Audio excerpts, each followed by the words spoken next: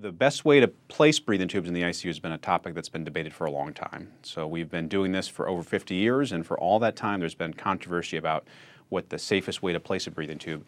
And the reason this is important is because it's a dangerous procedure. So uh, even though we do it every day, and over a million people in the U.S. are intubated every year, the complication rates are high. It's about 40% of people suffer low oxygen levels, and 2% of people suffer cardiac arrest, so sudden, a sudden stoppage in heart function, many of which are fatal.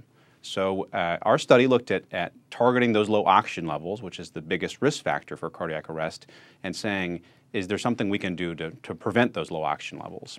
And the specific intervention we looked at was something called bag mask ventilation. So the basic idea is that when you place a breathing tube, uh, you have to give patients medications to make them relaxed and, uh, and, and sleepy. And those medications take about a minute to kick in.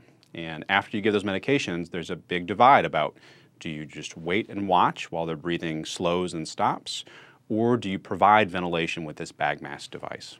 And we found that when you provide uh, ventilation with this bag mask device, it's very effective and safe. So it appeared to, uh, most importantly, cut the rate of low oxygen levels in, in half.